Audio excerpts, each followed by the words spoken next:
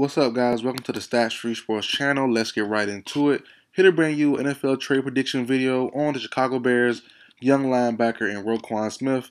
I believe he'll be traded in this year's NFL trade deadline to the LA Chargers, and let's talk about why. So, Roquan Smith, if you don't remember this offseason, uh, wanted to hold out, and also he requested a trade from the Chicago Bears.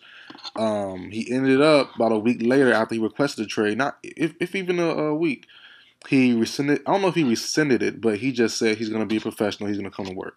You know, um, and, and, that's the best move to me personally. Uh, the Bears, I don't think we're we're going to pay him long term. Uh, I think the new coaching staff, I don't know if they really vibe with Smith or just the scheme difference is a big is, is a massive uh, dip in, in uh, play production. You know, and that, that definitely could be the case. You see Smith this year; he looks still looks good, but not as good as he did in in a three four.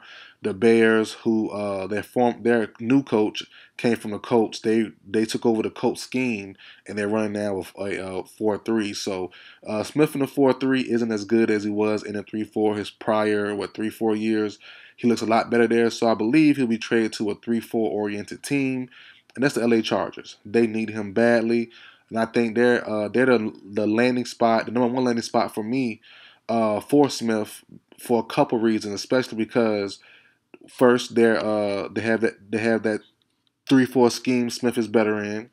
Uh, two, they need uh, some run defense immediately, some help in that area. And I'm surprised, you know, they brought in those D tackles uh, this offseason. Um, you know, I thought they would have helped claw the lineup a little bit better, but still not working quite right. They're towards the, the uh, lower half of the league in run defense. And also, um, another reason is because Khalil Mack. The Bears just traded Khalil Mack to, to the Chargers this past offseason, you know, for a second and I believe a, third or fourth, whatever, well, well, whatever deal was.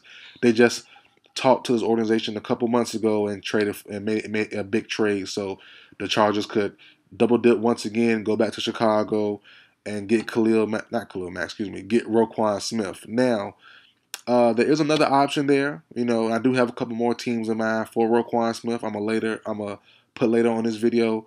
But if not Roquan Smith, uh, the Chargers could target Robert Quinn, uh, pair him back up with Khalil Mack. Uh, Joey Bosa's out for a couple weeks now, for extended time now. Was it growing a knee? I forgot what exactly what was going on with Joey Bosa, but he always tend to be injured. But uh, you know, Robert Quinn is available, should be available to a title contending or playoff contending team. Uh, you know, I've did multiple videos on on Quinn since the off season. I did the Chargers, um, excuse me, I did the Chiefs, I did uh, the Cardinals, a couple more teams here and there, but um, the Chiefs are still an option. The Cardinals, I definitely don't think so. They just traded. They just traded for Robbie Anderson. I don't think they're, they're in the market for Robert Quinn right now. But Quinn to the Chargers could be a, a definite move. Uh, but I would lean towards uh, going with Roquan Smith first. You know, uh, Khalil Mack and, and, and uh, Robert Quinn haven't really had the best connection. You know, uh, best best chemistry on the field. Uh, the year they played together two years ago, where they both they were both healthy for most of the season. Uh, both both guys. Well, no, Mack had a pretty good year, but Quinn struggled. Then the next year, Mack was out for basically the whole year, which was last season, and Quinn had a great year, 15 and a half sacks, played awesome. You know, so uh, going by that that that metric, I wouldn't pair them up again, honestly. and For me personally, but uh, it might be a need since Bosa is out. They need some pass rush help immediately. Now on to some more options for for Roquan Smith. A couple teams I have in mind: the Baltimore Ravens. Kind of a tricky spot. They do have Patrick Patrick Queen, who's dang near the same player as uh, Smith. So you know it's kind of uh, kind of the feeding purpose, kind of sort of. They have uh, Malik Harrison as as well. So you don't really need uh, not need him, but yeah, you don't really need Smith as much as other teams do, but it would be cool to have him and Queen together. I said, dang, they're the same player, but Queen has took a step back the last couple years, I will say, but I don't think it's a definite need for the Baltimore Ravens. But they they, they are an option. I would think they would need to go for running back or receiver help first before they would go for for for, uh, for uh, Roquan Smith. Next, the Broncos. Uh, they're banged up defensively as well. Um, pairing him with I, I know Chubb is an outside guy, Browning is an outside guy, but having a run stopper in that middle, pairing with those two pass rushers with Chubb and, and Browning, uh, that'll be nice to have too. So the Broncos could be an option. They're banged up, uh, so they're also in the mix as well, and also a sleeper. Which I don't think this move will happen. It, it wouldn't make sense, kinda kind of would, kind of won't, but the Seahawks. The Seahawks are a dark horse team. Uh, they've been rumored to get Smith since the offseason, and they were still in thoughts to be in like tanking slash rebuild mode. So, you know, um, pairing him with Brooks,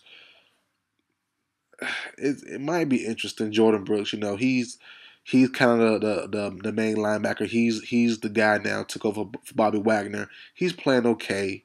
But I think uh, pairing him with, with Smith uh, could be cool. You know, uh, the Seahawks, you know, they are gearing up for, for the future. Uh, Smith is still only 25, going on 26 pretty soon, so he's still pretty young.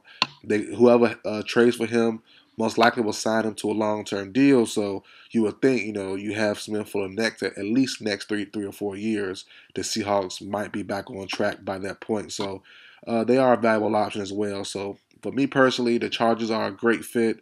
They're the they're the most need and they're, they're in position of the, of the most need of Roquan Smith services, and they have a great fit along with uh, great chemistry. You would think with the Bears organization, which they just made a big deal for Khalil Mack just a few months back. You know, so uh, I think the Chargers are my number one go-to team.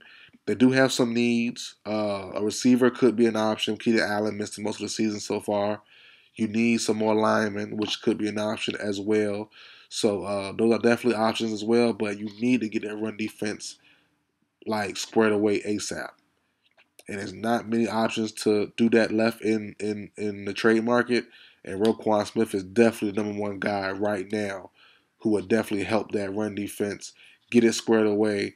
Pairing him with Dan Trank uh, with with uh, um, Danny Tranquill, and um, you know, hopefully Bosa come back probably what three or four weeks.